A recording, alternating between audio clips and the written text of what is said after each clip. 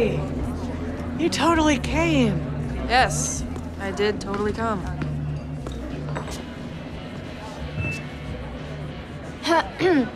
Please excuse my brother. He is chronically enfeebled. I'm Stacey. Hey. This is Wallace, his roommate. Hey. This is my boyfriend Jimmy. Hey. Oh, and this is Knives. Hey! Hey! So, do you like? Well, I, uh.